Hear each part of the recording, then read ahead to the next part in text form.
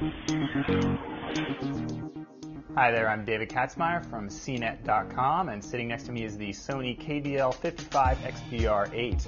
This is an extremely expensive uh, LCD flat panel TV, 55 inches in size. That size isn't the main reason it's so expensive, however. It's due to Sony's LED technology. This TV is Sony's first attempt at having an LED backlight. That means instead of the standard fluorescent backlights behind the screen providing the power, there's LEDs. In Sony's case, there's four different colored LEDs, a technology it calls triluminos, and we'll get to the effects of all that technology in a little bit. But first, let's take a look at this TV's styling. The uh, speakers seem to kind of hang in space to either side of the TV here with these glass panels separating them. Uh, the TV itself around back has plenty of inputs. You'll find uh, three HDMI inputs two component video inputs and a PC input. Uh, the side panel also has a fourth HDMI input, so there is plenty of connectivity on this set. When you go into the menu, you also find plenty of things to do to adjust the picture. Sony allows you to adjust the white balance, gamma, and a host of other uh, picture features, so you can really go ahead and tweak this TV to your heart's content. The set also features Sony's motion flow technology. There's actually a new feature available on this TV called Clear, which takes advantage of the LEDs to uh, provide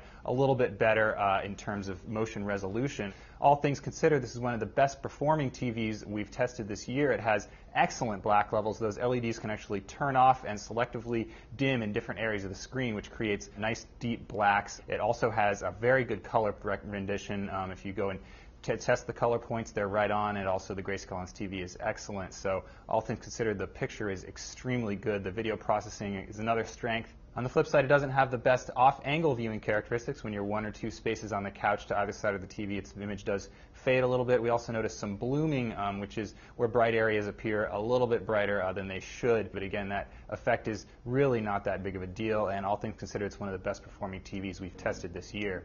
That's a quick look at the Sony KDL 55 XBR8, and I'm David Katzmaier.